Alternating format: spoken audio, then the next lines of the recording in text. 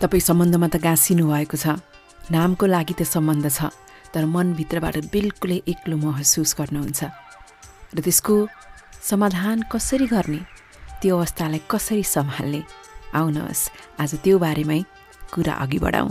नमस्कार मेरो नाम सबिना कार्की। तपाईँ कहाँ बसेर कोसँग बसेर यो सुनिरहनु भएको छ? कुन टाइम यतिखेर हो? के गर्दै सुन्दै हुनुहुन्छ त्यो तल कमेन्टमा लेख्न नबिर्सनुहोला। कोही कहीँ छ मलाई सुनिरहेको छ भन्ने आत्मविश्वास पाइसकेपछि मलाई यस्ता भिडियोहरू बनाऊ बनाऊ जस्तो लाग्छ। सब्सक्राइब गर्नुभएको छैन भने do not forget to subscribe अब तपाईँको जीवन साथी अथवा तपाईँको मायालु भनेर भनौँ। तपाईँले सोच्नु भएको थियो मायालुको साथ पाएपछि त अब म एक्लो कहिले पनि हुनै पर्दैन। तर आजकलको आँकडा हेर्ने हो भने विश्वभरै विशेष गरेर जो जोडीमा बाँधिएका छन् अथवा विवाह हुनसक्छ अथवा प्रेम सम्बन्ध हुनसक्छ त्यसमा धेरैजना विशेष गरेर युवा जोडीहरू आफूलाई एक्लो एक्लो महसुस गर्न थाल्छन्। अझ त्यसमा महिलाको सङ्ख्या बढी छ। अब प्रेमको सम्बन्ध र एक्लोपन यी दुइटै शब्दको त तालमेल पटक्कै पनि छैन। भन्नाले सम्बन्धमा गाँसिँदा गाँसिँदै एक्लो महसुस गरिन्छ भने सम्बन्धको के अर्थ भयो र? कहिलेकाहीँ सम्बन्ध अघि बढ्दै गइसकेपछि सुरुको जुन कनेक्सन हुन्छ जे कुराले एक अर्का निकट आइएको हुन्छ त्यसको बिस्तारै महत्त्व घट्दै जान्छ होला। रोमान्स कम हुँदै जान्छ होला। विवाद बढ्दै जान्छ होला। कुराकानी कम हुँदै जान्छ होला। कति त अझ मैले यतिसम्म देखेको छु कि बोलचालै बन्द छ। नबोलेको होइन गफै नगर्ने के? त्यसरी पनि मान्छे सम्बन्धमा एक्लिन थाल्छ।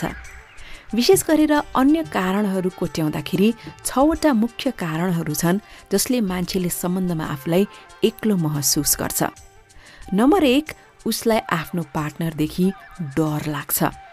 यो एकदमै दुर्भाग्यवश भन्नुपर्ने हुन्छ।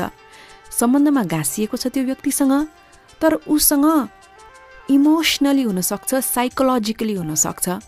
त्यो व्यक्तिले हिंसा गरिरहेको छ।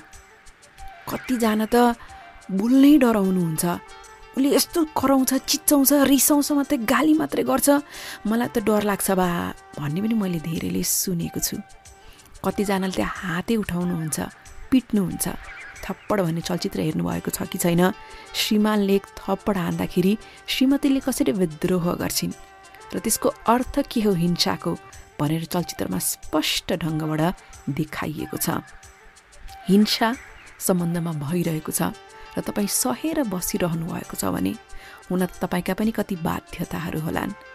तर बाध्यता सङ्घर्षको बिचमा आत्मसम्मान भन्ने कुरो पनि छ। तपाईँको पनि त जिन्दगी छ।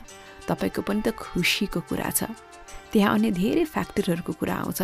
कुनै दिन यही विषयमा एउटा छुट्टै पडकास्ट पनि म गर्नेछु। तपाईँले आग्रह गर्नुभयो भनेदेखि तपाईँलाई यो विषयमा रुचि लाग्छ भनेदेखि एनिवेज मैले भन्न खोजेको सम्बन्धमा हिंसा छ डर छ भनेदेखि पनि एक्लो महसुस हुन्छ।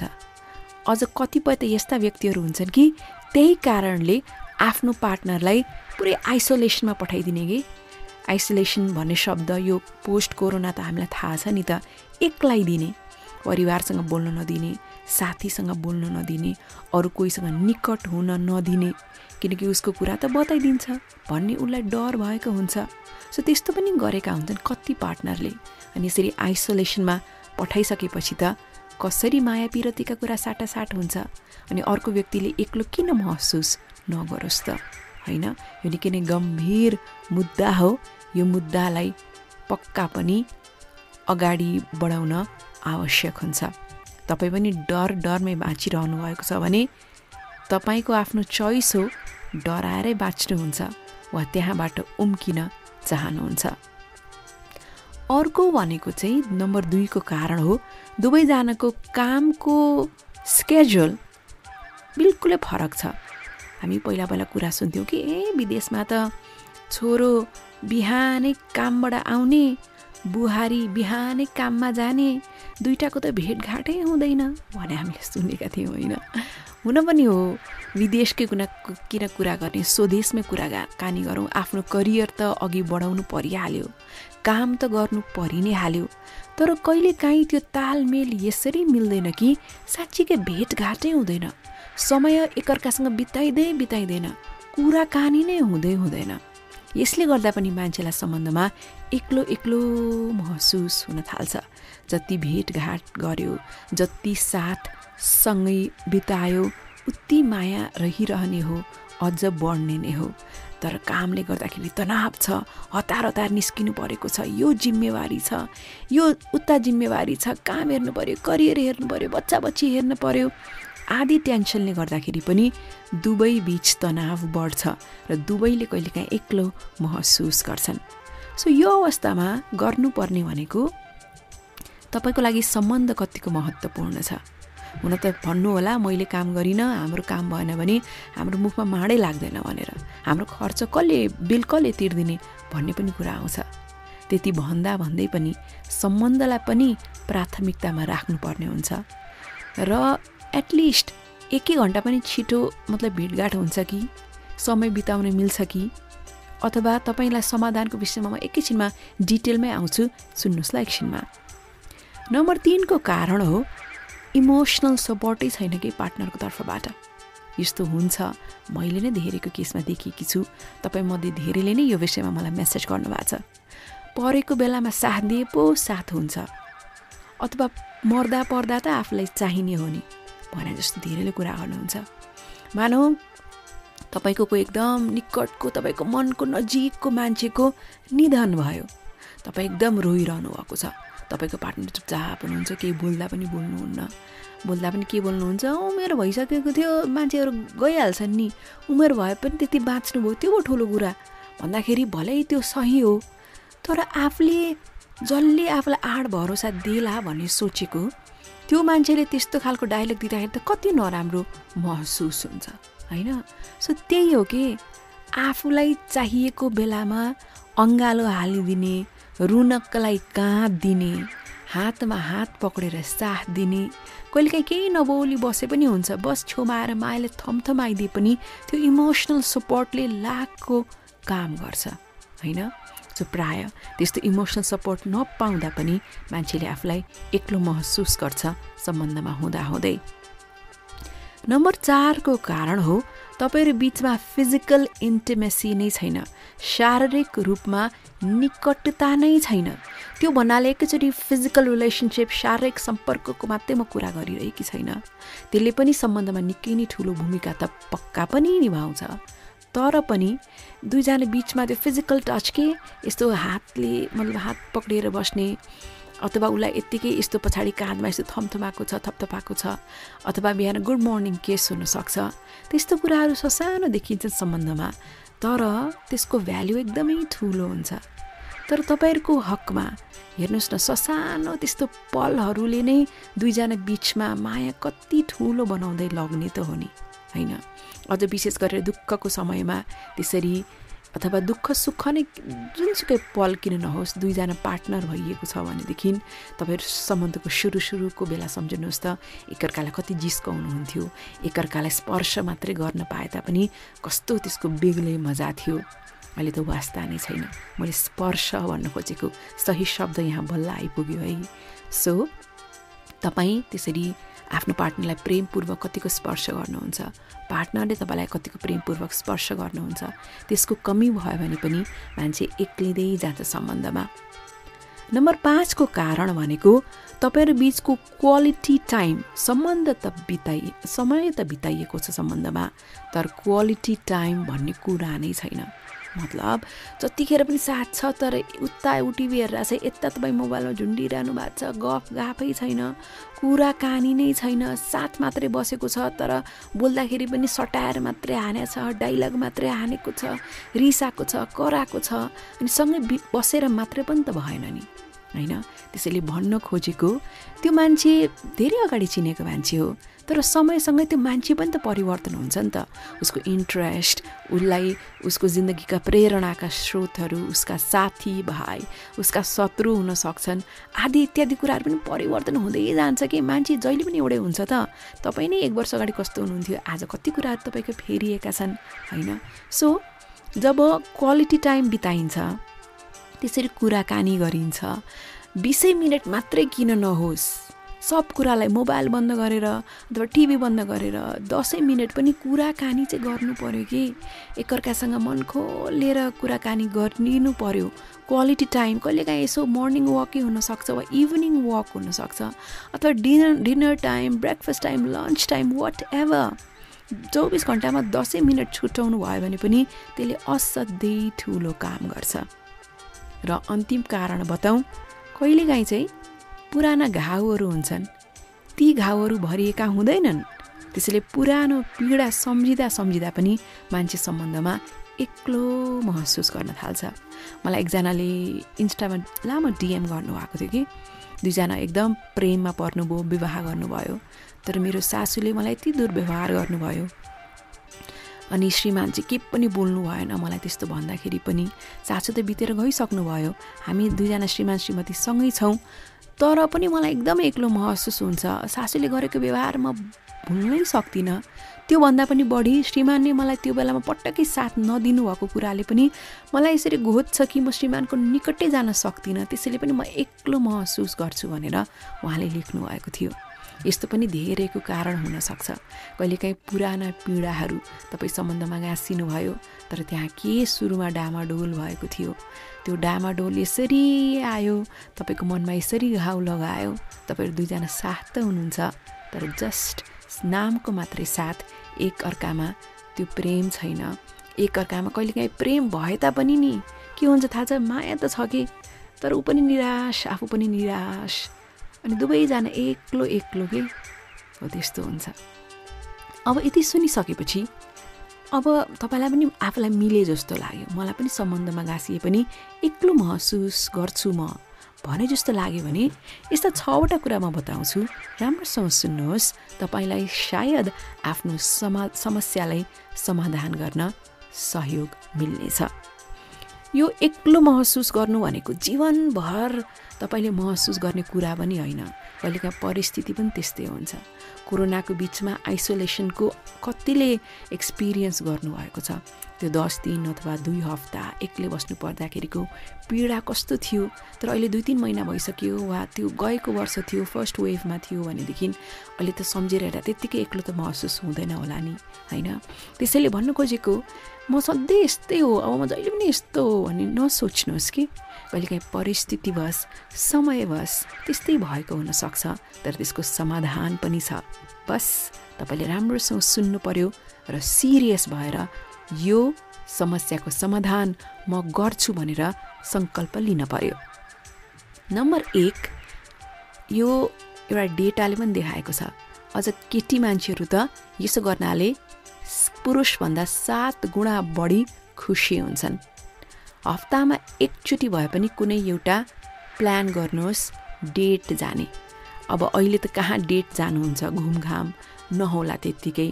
डेटलाई कसरी मानौँ भन्दाखेरि हप्तामा एकचोटि भए पनि कहीँ कतै तपाईँहरू एकअर्काको लागि टाइम निकालेर सँगै बस्ने कि?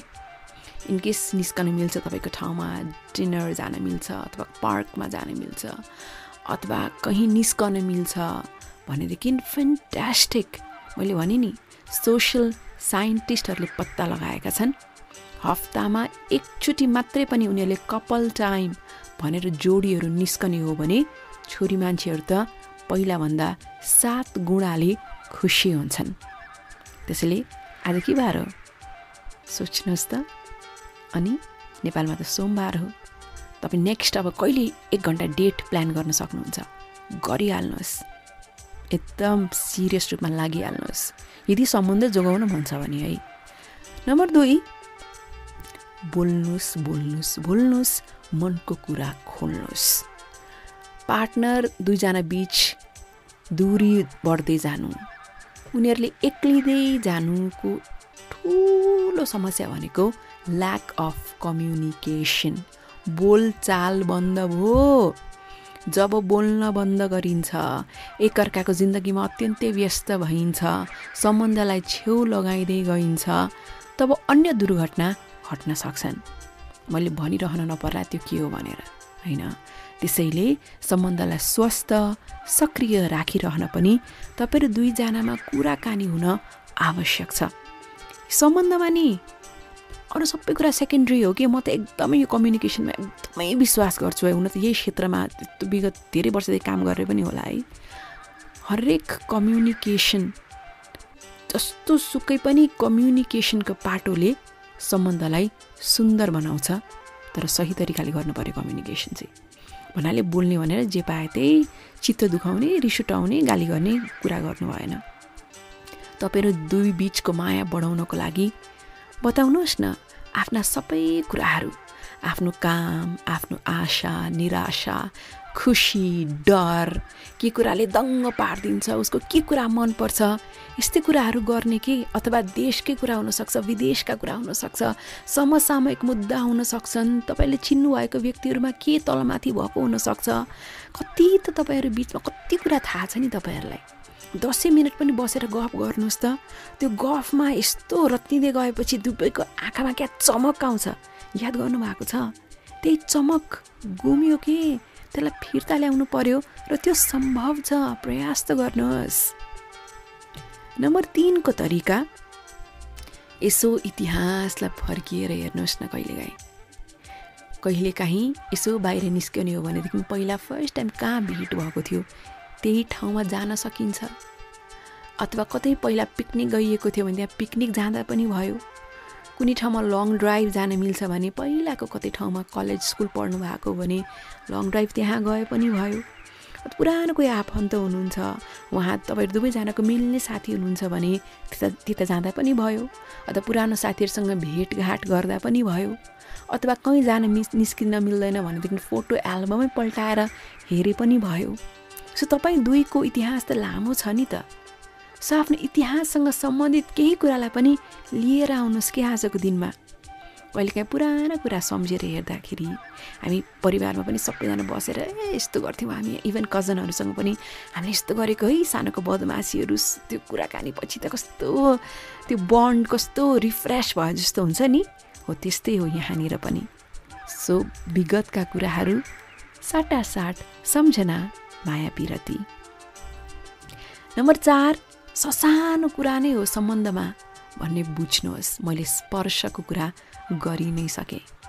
ससानो कुराहरू उसको लागि गरिदिनुहोस् न।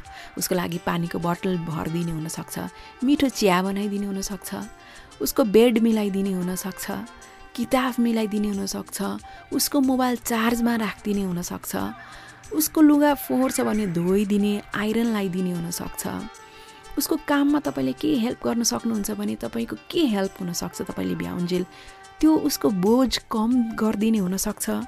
कल्पना गर्नुहोस् त तपाईँ यस्तो निन्द्रा लाग्यो म सुत्न जान्छु भन्दाखेरि चट्ट तकियाहरू पनि मिलाएको छ झुल पनि हालिदिएको छ बेड टक्क यस्तो कोजी बनाएर राखिदिएको छ त्यहाँ गएर बुक्क सुतु जस्तो मात्रै हुने छेउमा माया गरेको मान्छे आइदिए जस्तो पनि हुने भन्दा कस्तो मुस्कान लिएर तपाईँ निदाउन जानुहुन्छ नि त।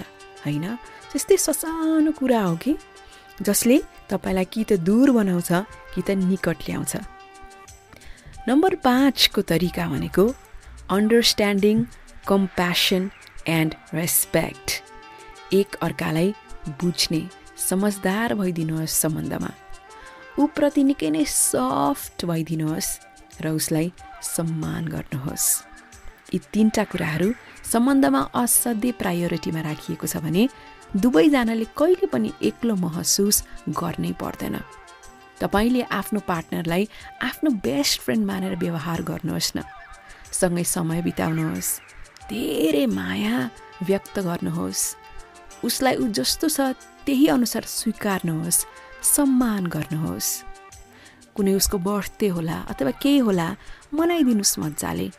उसलाई उपहार दिइरहनुहोस्। मायाले मत्याइदिनुहोस्। मायामा पुलपुल्याइदिनुहोस्। मायामा त इट्स हार्ड वर्क कडा मेहनत हो। यदि साँच्ची एक्लो महसुस हुन थाल्यो भने आफ्नो तर्फबाट त्यो पहल जारी होस् है।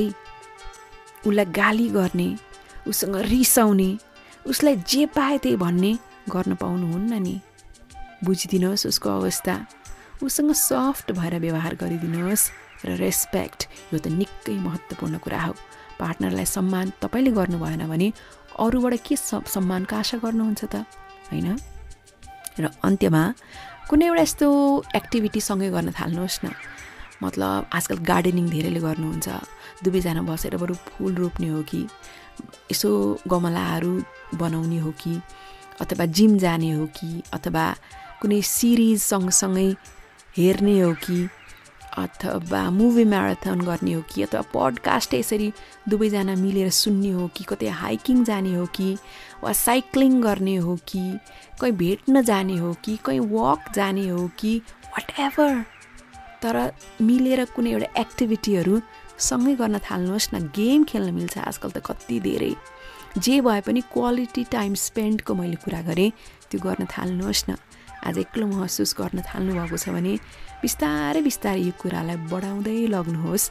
तपाईँले एक्लो महसुस गर्नुहुन्न।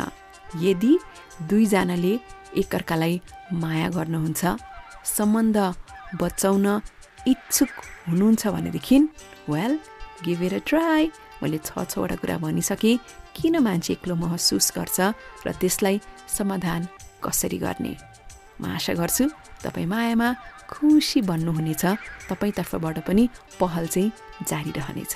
हस् अल द बेस्ट कस्तो लाग्यो तल लेख्न नबिर्सनुहोस् है।